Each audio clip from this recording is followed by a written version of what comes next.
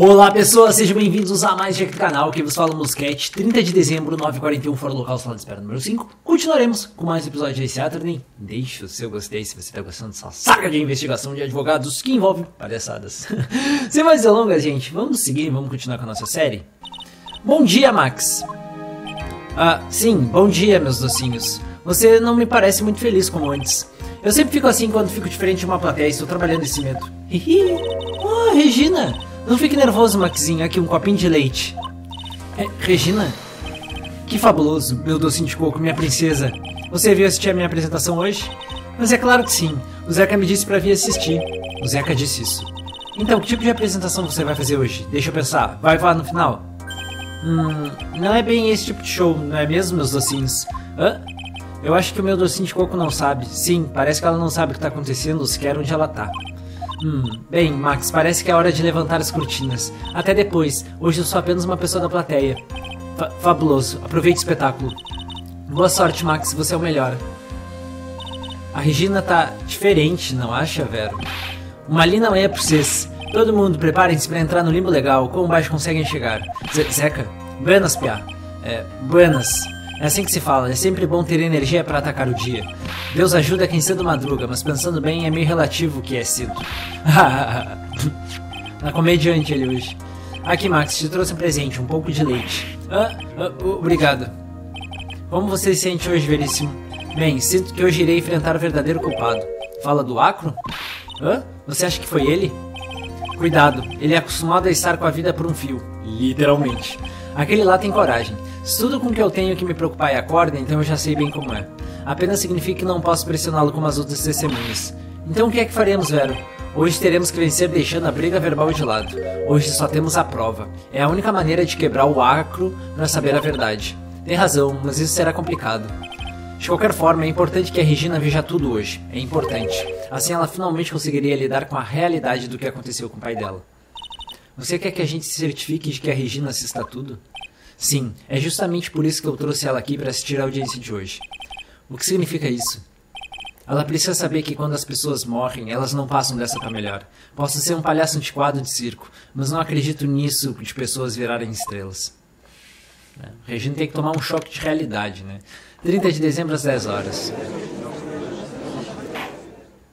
Declaro aberta a sessão para o julgamento de Maximiliano Galáctica. A acusação está pronta. A defesa também. Muito bem, senhorita Von Karma pode prosseguir. A acusação gostaria de rever sua teoria anterior sobre os eventos ocorridos. Qual o significado disso? Nós descobrimos uma nova testemunha, eu devo dizer, uma testemunha ocular. Especificamente uma que viu Maximiliano Galáctica fugir da cena do crime. Ordem, ordem! Eu tinha a impressão de que isso fosse acontecer. Devido a essa revisão, a acusação está preparada para responder como ele fugiu. Uma explicação será dada caso isso seja necessário. Na verdade, meu inspetor ficou a noite inteira examinando a cena sob meu comando. Pobre Gaspar. Muito bem, por favor chame essa testemunha. Hora de trabalhar, eu devo dizer, hora de andar nessa corda bamba. Ah, tinha que ser, né? Sabia que era o acro. Nome e ocupação. Cauã Bambo, mas todo mundo me chama de acro. Trabalho como um macorobata no circo colossal. Onde você estava na hora do crime? Eu estava no meu quarto naquela noite. Se você observar aqui no mapa, verá que o quarto mencionado fica perto da cena. Meu quarto é no terceiro andar, a cena do crime fica logo abaixo da minha janela. Hum, naquela noite do crime, a testemunha viu algo bem chocante. Pode nos contar o que foi que você viu? Tudo bem. Tá, o que eu vi? Vamos lá. Hora do depoimento, né? Era logo depois das 10 e eu estava descansando na minha cama. Nesse tempo eu ouvi um tum de fora da janela. Então, algum tempo depois, eu vi alguém voando perto da minha janela. Era o Max Galáctica, eu só vi o de costas, mas era quem parecia. Para ser sincero, quando eu vi aquilo, achei que estava tendo um pesadelo. Hum. Hum. Esse depoimento é exatamente igual ao do palhaço. Se esse é o caso, a acusação tem pouco a acrescentar. Tudo que resta é saber como o acusado desapareceu no ar naquela noite. Antes de chegarmos a esse ponto, eu gostaria de inquirir a testemunha primeiro. Uma escolha tola por um tolo tolíssimo que deseja sentir a tola tristeza de um triste tolo. Um homem deve saber a hora certa para as coisas, Sr. Fênix Veríssimo. Exatamente como seu amigo Sr. Eduardo sabia. Sr. Veríssimo, algum problema no depoimento foi dado? Nas palavras da senhorita Von Karma, se me permitem citar o que ocorreu ontem? Não há nenhuma possibilidade de que isso tenha acontecido. Muito bem, pode proceder a sua inquirição. Hum, o que eu vi? Logo depois das 22 eu estava descansando na minha cama. Nesse tempo eu vi um tum. Impressionar. Seu quarto é no terceiro andar, certo? Sim, e você disse que estava descansando na cama? Precisamente, mas ainda assim você foi capaz de escutar um barulho lá fora? Claro. Hum, pressionar não deu muito certo aqui. Espera, talvez tenha algo contraditório que ele falou.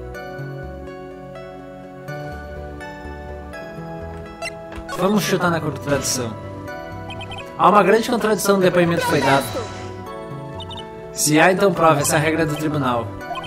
Você tem alguma prova que há uma contradição?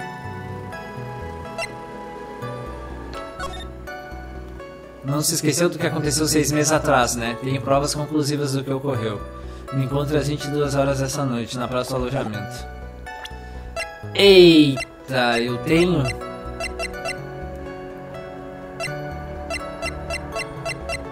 Ai, meu Deus. Ah, vai, vou ter que chutar. Eu errei. Espero que é isso. Você não entende o que eu não entendo. Você não vai conseguir safar dessa com seus sacos de blefs de sempre. Seu cliente está prestes a voar mais uma vez. Ah, tá, eu blefei e ele não aceitou. Poderia repetir seu depoimento? Tá. Era logo depois da 22 eu estava descansando na minha cama. Tá. Então, algum tempo depois eu vi alguém voando perto da minha janela. Tem certeza de que era um ser humano? Talvez fosse um manequim ou um boneco humano tamanho real. Hum, bem, descartando a possibilidade de manequim, o boneco parece plausível. Não será necessário medir palavras com o Sr. Fênix Veríssimo. Vale a verdade somente a verdade. Eu acredito que era um ser humano. Hum, droga, eu apenas deixei depoimento. Será que o depoimento está de acordo com os fatos? Não há nada de errado. Não há nada, meritíssimo. Até chamar contradição, prosseguir cuidado e a chave. Era o Max Galáctica, só vi de costas, mas era quem parecia. A luz do seu quarto estava desligada, correto? Correto, eu estava indo dormir. Mesmo com ela desligada, tem certeza de que viu? Saiba que as luzes de segurança são suficientes para me fazer ver o que está acontecendo. Mas verdade seja dita, só dava para ver silhuetas de pessoas fora da janela. Eram as costas do Max, então não consegui ver as rosas brancas da roupa dele. Hum, você viu outro símbolo? Claramente viu o chapéu, além da capa em volta do corpo dele. Tenho 100% de certeza. Quanto mais eu preciso. Será que não há alguma coisa? Há uma contradição. Se não me engano, o Zeca falou o contrário, né? Há uma grande contradição. Se há, então prove. Hum, mostre a prova. Você tem alguma prova de que é uma contradição? Os símbolos do Max? Espera, mas o que é isso? Ai. O, o que eu não entendo? Você não vai conseguir safar com seus sacos de blefs. Ah, testemunha, poderia repetir seu depoimento? Tá, mas como assim, mano? Nossa, aqui tá mais difícil. Quando eu vi aquilo, pensei que estava tendo um pesadelo. E se eu apresentar isso aqui? Essa prova revela uma contradição. Ai, cara! Tá, mano.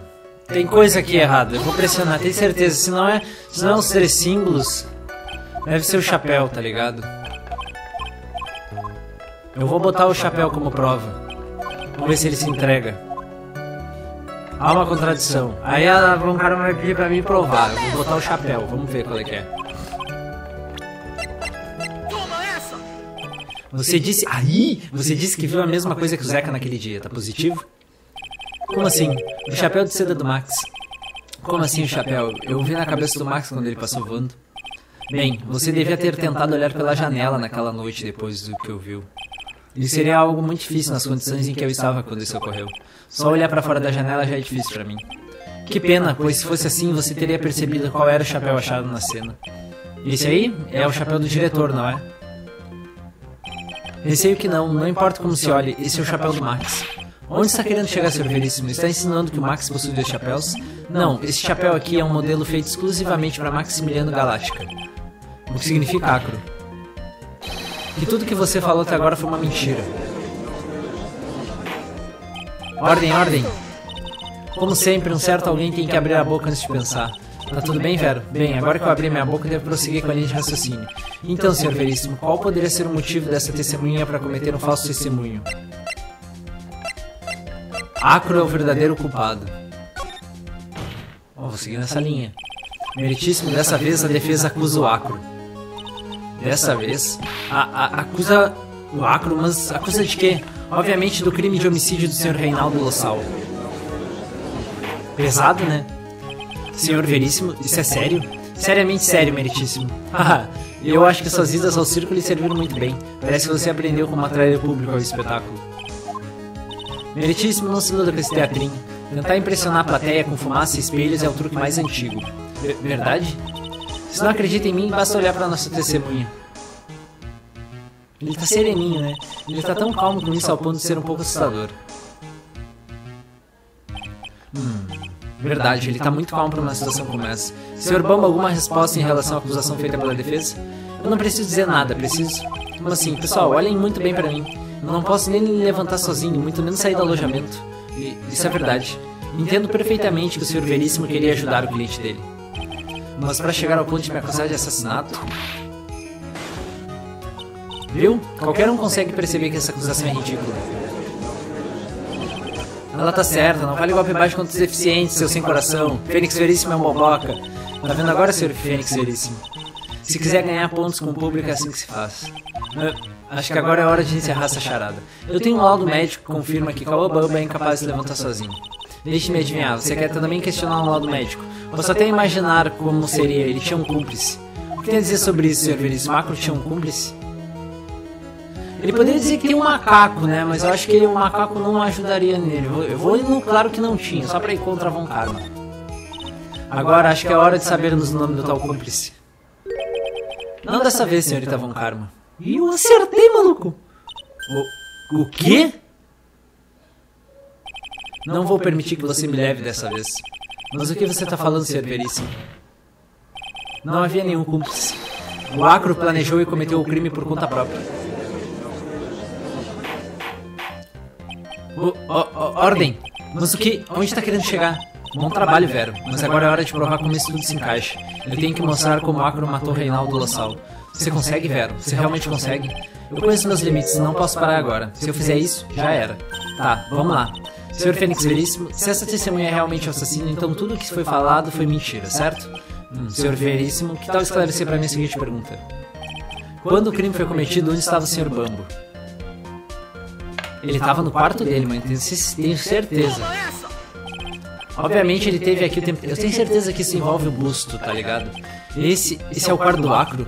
Bem simples, não? Como você disse, o Acro não pode sair do seu quarto sozinho. E ele tem a Regina ajuda ele a sair. Nesse caso, só uma explicação para isso. O Acro não saiu do quarto dele para matar o diretor. Como? Perdeu a sanidade? O que tem a dizer sobre isso, Sr. Bambo? Esse louco tá muito calmo. É uma teoria interessante. É? Só isso? Considerando que o que você acabou de falar é impossível, sim, é só isso. Hum, senhor Veríssimo? sim, meritíssimo. Como a testemunha disse, o que você disse é impossível. Tendo em vista que está em uma cadeira de rodas, ele não pode ter ido para a cena do crime. Hum, tem razão.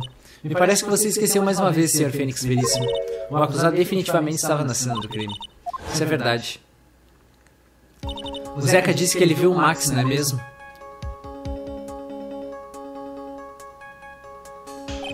Mas Alice, ainda é impossível um ser humano voar pelo ar. Se importa de eu lhe perguntar uma coisa, Sr. Veríssimo?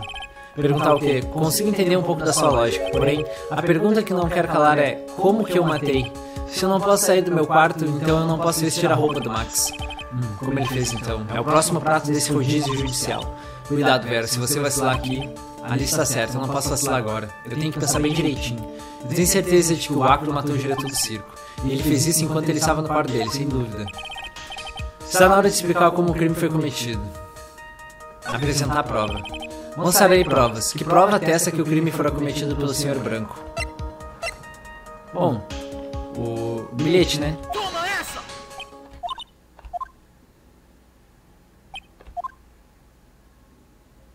Tudo. Uh, eu acho que é melhor tentar de novo, antes que a Von Karma te dê uma chicotada.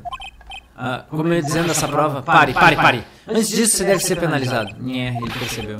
E se por acaso você não acabar com essas idiotices, irei tomar providência. Pra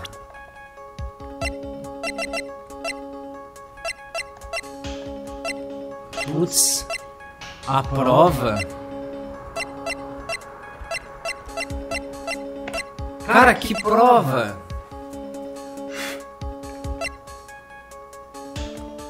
Toma essa! Busto? O que é isso? Uma foto? Exatamente, o problema é que você vê nessa foto. O busto do Max é um busto muito grande para ser em tamanho real, também é muito, mas muito pesado. Pesado? O suficiente para garantir a morte de alguém, se me permite dizer.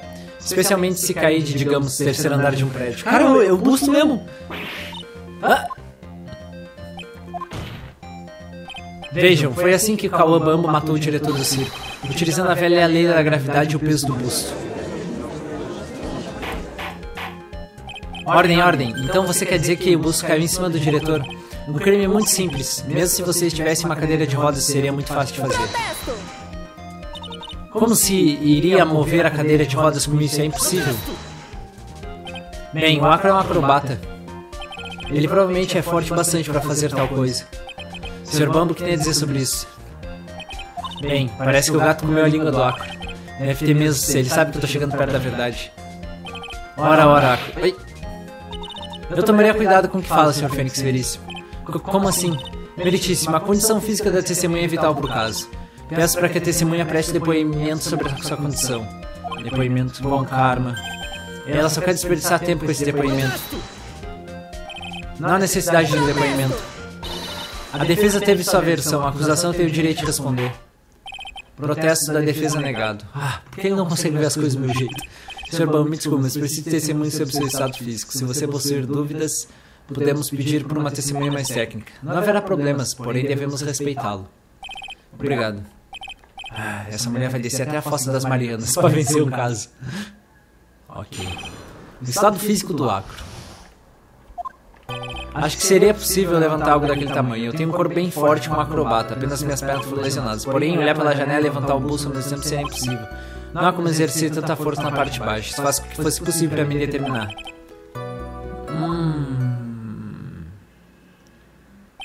Hum, não vejo nada de errado. Como ele disse, segurar o busto e olhar pela janela seria algo impossível de se fazer. Sem falar que ele não sabia a localização do diretor. Uma tropeçada poderia levá-lo a ferimentos graves. Eu estava pensando mesmo. Qual a sua opinião, Sr. Veríssimo? Eu gostaria de proceder com a minha inquirição. Ele está desesperado. É realmente digno de pena. É, olha só quem fala. Tenho que me focar e ignorar ela. Peraí, não, ele poderia saber sim. Se o Acro botasse a caixa no lugar certinho, onde o diretor morreu, ele saberia mirar onde ia encontrar com o diretor. Tá. Não, não, aqui vamos apresentar.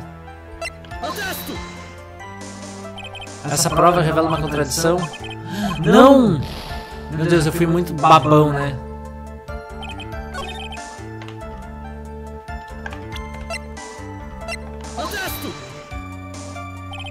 Ai, meu Deus, de novo, cara. Meu Deus, acho que não ganhei pontos com o juiz.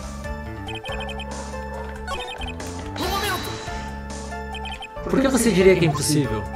Eu explico. Você aceita que se eu estivesse carregando o busto eu não seria capaz de ver fora da janela? Logicamente significa que é impossível determinar a posição da cabeça do diretor. Bem, isso faz sentido. Ei, Vero. E se você fizer uma reviravolta na sua linha de raciocínio, pensar fora da caixa, tipo... Se ele soubesse onde a cabeça do diretor estava, então seria possível deixar o busto cair. Faz sentido. O problema é como eu vou provar isso. Como é que o Acro sabia onde a cabeça do diretor estava? Acredito que já expliquei muita coisa por aqui. Cara! Vou salvar, mas eu vou apresentar a caixa. O diretor morreu em cima da caixa, né? Deu bom! Acro, você não precisou olhar pra baixo, não é mesmo? Onde quer chegar com isso. Veríssimo? Você já sabia a localização do diretor. Com bastante precisão, se me permite dizer. O que tá falando é um absurdo, Sr. Fênix Veríssimo. Chega de blá blá blá, que tal nos apresentar provas. Mas deu um trabalhão pra tentar explicar. Sim, sim, vai direto ao que interessa. Talvez devêssemos olhar pra essa prova. O ponto-chave aqui é a caixa de madeira, a mesma em que o corpo da vítima foi encontrado. Precisamente, a pergunta é: quem colocou aquela caixa lá? Quem? Quando bem viu o diretor, ele não estava carregando nenhum objeto. O que significa que essa caixa já estava lá quando o diretor chegou. Hum, faz sentido. O nome momento que o bus caiu foi o exato momento em que, ela, em que ele levantou essa caixa de madeira. Agora está bem claro o que aconteceu naquela noite. Quer, quer dizer, se o busto caísse no ponto marcado pela caixa, será uma chance de 100% de se acertar a cabeça. Não pode ser. Ordem, ordem, ordem, inacreditável. Ótimo, finalmente estamos chegando a algum lugar. Agora devo continuar e continuar para um sentido, em frente. Mas quem poderia ter colocado a caixa lá? Foi o Sr. Bamba, é claro. Ele aprendeu em uma corda. Ai! Aqui vai uma chicotada. Que isso? Sr. Fênix Veríssimo? Ai! A cabeça do diretor nunca poderia ficar onde a caixa estava. Justamente porque a caixa foi feita para isso. Feita para isso? Exato, ela tinha uma característica peculiar. O peso, né? A caixa tem um peso peculiar. Boss, segundo os autos processos, ela pesa cerca de 9 kg. Apenas para levantar seria necessário. Ah, entendi. Precisaria agachar e levantar com o corpo, é isso? Justamente, a caixa também é muito larga. Se não me falha a memória, ela possui dois ganchos para segurá-la, certo? Precisamente, para levantar precisaria agachar. O que significa que não importa quem seja a sua cabeça, estaria mais ou menos na mesma posição. Tolo. Cara, ele tá calmo, velho. Impressionante. Mas será que o Benedito que ele tenta ao menos escutar ainda? Já escutei o que você tinha a dizer. Admito que você possui uma imaginação bem fértil. Vo- Você, foi você, você deixou cair o bolso em cima da cabeça do diretor. A imaginação do Sr. Veríssimo é fértil, mas não teria como fazer isso, mesmo se eu quisesse. O quê? Sr. Veríssimo, me responda. Lembra onde o bolso estava originalmente? Eu me lembro. Claro que eu lembro, estava em cima da mesa do refeitório. Hum, então o que houve com ele? Vale lembrar, Sr. Veríssimo, eu sou incapaz de sair do alojamento por conta própria. Ah, quer dizer que... Parece que a jovem entendeu, não é mesmo? Talvez eu até possa ter deixado o busto cair no meu quarto. Porém, como que eu peguei o busto se ele estava no refeitório? Ah, pode ser sido da Regina. Vê, Sr. Fênix Veríssimo, explique isso. Ah, e não se esqueça, você mesmo disse que não havia nenhum cúmplice. Ah. Nos conte como que o busto foi parar no quarto do Acro. Ai, ai. Houston, temos um problema. Mas não é hora de ficar perplexo, tem que pensar como foi possível. Muito bem, Sr. Veríssimo, sua explicação. Como que o busto foi... Parar... Para aí! Macaco que cuida do Acro costuma catar todo tipo de objeto brilhante. Macaco. Um macaco? Todo mundo conhece o Prata. Ele adora objetos brilhantes, grandes ou pequenos. Tanto que, inclusive, roubou o anel do ventríloco. O que tem? Está dizendo que a testemunha usou o macaco para roubar o busto. É claro que ele não ordenou o macaco. O macaco roubou o busto e o trouxe de volta para casa. De volta para casa? Prata mora no quarto do Acro. No quarto do Acro? Espera, o busto é de bronze, né? Macacos gostam de coisas brilhantes, o bronze não é. Que tal ler os autos do processo antes de puxar esse chicote contra mim? Caraca! Ora, que cartas bonitas que ele está segurando. Sim, devo mencionar que elas são feitas de platina, e a platina é bastante brilhante. Acro? O prata é um macaco bem forte, não é mesmo? Seria fácil ele trazer o busto para o seu quarto. Se ele não conseguisse fazer isso, eu estaria à procura de um novo colega de quarto. Ordem, ordem! Eu disse ordem, senhorita Von Karma! Onde está o busto? Ah, ah, ah, eu. eu não sei. Estamos procurando por ele. Hum, isso é uma reviravolta dos eventos. Presumindo-se que o macaco não, estiver, não tivesse roubado o busto, o que teria acontecido? Bem, nesse caso, outra coisa teria sido usada para matar o diretor. Hum, espera. Então quer dizer que esse busto foi arma do crime? É possível. Talvez o Acro viu a pilha de coisas do prato e pensou em usar uma delas. Continuando, acredito que provamos um fato crítico. Que é completamente possível que Acro seja o assassino. Idiota! Ah, ficou mordida. Esse argumento, Sr. Veríssimo, deu tantas voltas que até estou um pouco enjoado. Porém, o argumento dele é plausível, disso não podemos duvidar. Ai, não fique estupefato com isso, especialmente por causa dessa fraude que chamam de defesa. Fraude? Você esqueceu de uma coisa, Sr. Fênix Veríssimo. E o que seria? Você sabe. Você esqueceu que seu cliente foi encontrado na cena do crime. Ah. Não há o que duvidar do depoimento do palhaço. Verdade, o que tem a dizer sobre isso, Sr. Venice? Vero, não deixe ela ganhar por causa disso. Não vou mesmo, é a minha chance de expor a verdade. Quando o assassinato ocorreu, nós tínhamos duas pessoas na cena do crime. A primeira era a vítima Reinaldo Lossal e a outra era o próprio assassino. Responda isso, apenas isso, Fênix Veríssimo. Salvar aqui que agora eu tô sentindo que eu vou tomar. Quem era o assassino que o palhaço viu? Não, ele não viu, ele não viu ninguém. O que ele viu foi o, o busto. Toma essa! Ele viu o busto do Max. Ai! A minha pergunta foi quem que o Zeca viu na cena. Essa prova não tem nada a ver com o caso. Quem disse Berenice? Essa prova tem sim relação com o caso. O Zeca informou ter visto a silhueta do Max. Mas ele não viu o dito cujo naquela noite. O que ele viu não era um ser humano. Co- como isso é possível? É simples, na verdade, o que o Zeca viu naquela noite foi o busto do Max. O que é que você tá falando? Já usou esse seu cérebro em algum momento nesse tribunal? A silhueta que ele viu estava com uma capa. Como assim? Não há nenhum problema em colocar a capa no busto. Seria fácil prender a capa nas cartas que o busto está segurando. Idiota, quem seria tolo o suficiente para fazer isso? Não importa quem colocou. Espera um pouco, Sr. Fênix. Quem colocou a capa no busto? Eu acho que podemos concordar que isso é importante, não acha? É, ele me pegou. Isso eu explico, Sr. Veris. Quem colocou a capa no busto? Será que o diretor?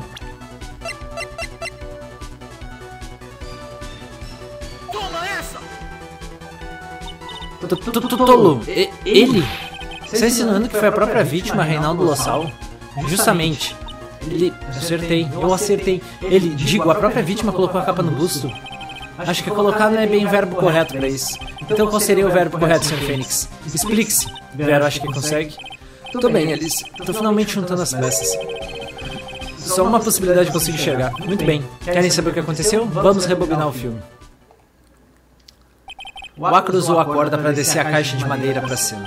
Depois ele colocou a corda no busto e deixou a janela do seu quarto bem acima de onde a caixa de madeira estava. Ao mesmo tempo, o diretor pediu ao Max para que aguardasse em sua sala e em seguida ele foi à cena. Porém, é bom lembrar que ele estava com as roupas do Max. Talvez ele não quisesse ser visto naquela noite.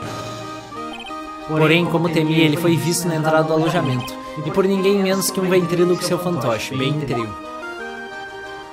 Ao chegar na cena, o diretor agachou para pegar a caixa. Nesse exato momento, Acro soltou o busto usando a corda. Agora eis a mágica. No instante que o busto caiu na vítima,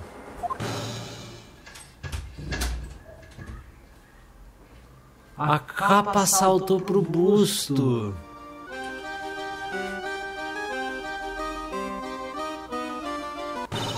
Espere só um momento aí, Sr. Fênix Seríssimo. Por mais que você tente, por mais que você tente, isso não é verdade. Não pode ser. Caraca, Von Karma ficou braba. Ainda é muito cedo pra você ficar nervosa, senhorita Von Karma. Eu ainda não terminei meu raciocínio. O quê?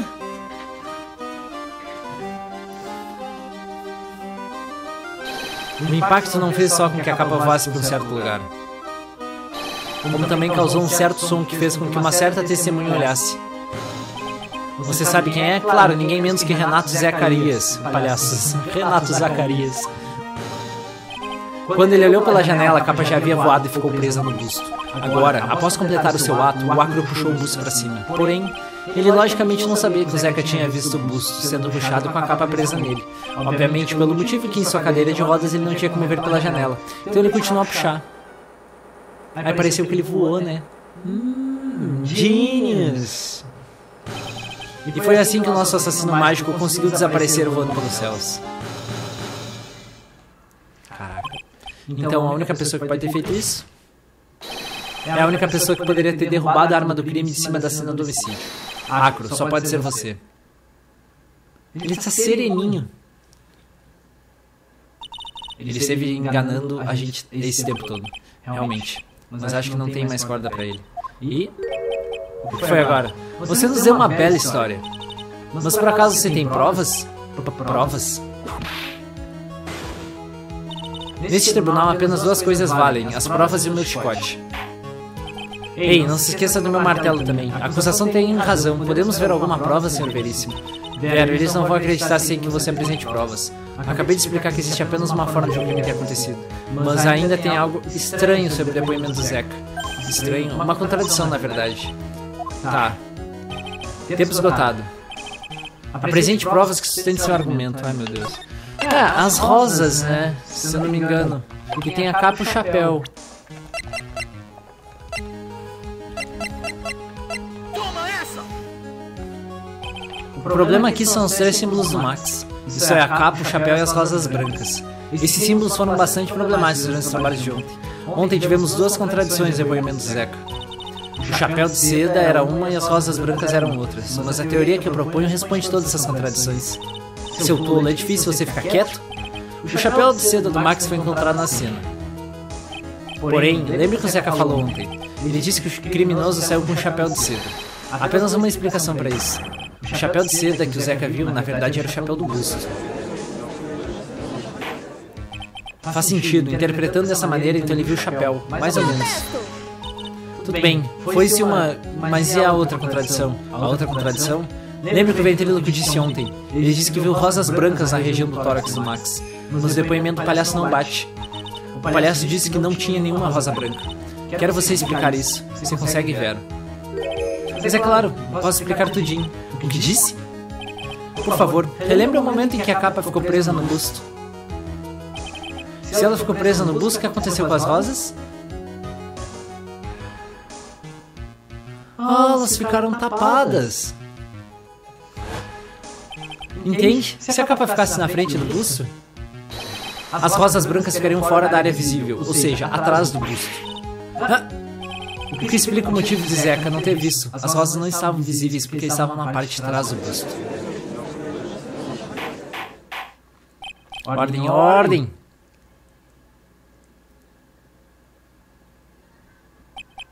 Isso é bem chocante. A teoria do Sr. Veríssimo ainda me parece ligeiramente absurda. Porém, vamos continuar nessa linha. Vamos lá, Vero. Assim a senhorita Von Karma vai finalmente chutar o balde. Estão serenos. Bem, lá se vai minha teoria. Sr. Veríssimo, se importa? O quê? Você pesquisou sobre o nosso circo, eu imagino. Bem, sim, investiguei. Tem algo que está fazendo você duvidar? Sim, talvez você pudesse entender onde está errando. É, e onde seria? Motivo. A testemunha tem uma gratidão profunda pelo diretor do circo. Qualquer pessoa que está no circo sente isso. Portanto, não é possível que o Acro, que respeita muito o diretor, fizesse algo assim. Hum, meritíssimo, gostaria de escutar o resto do depoimento do Acro. Sobre a relação dele com o diretor e sua vida no circo até hoje. O, o que a gente faz? Não há dúvida de que o Acro respeitava o diretor. O motivo do Acro. Me parece que esse caso não terminou ainda, porém acho que convém nos, nós fazermos uma pequena pausa. Irei escutar o depoimento do Sr. Bamba após o recesso. Faremos um recesso de 10 minutos. Eu acho que o Acro quis matar outra pessoa. Óbvio que ele não queria matar o diretor, acabou matando, mas eu acho que talvez ele teira querido matar o Max em vez do Acro, em vez do diretor. Quase certeza. Mas bom, pessoas, espero que você tenha gostado de mais um episódio de Phoenix Wright. Comenta o que você achou. Amanhã seguiremos. Um abraço no Sketch. Valeu. Falou!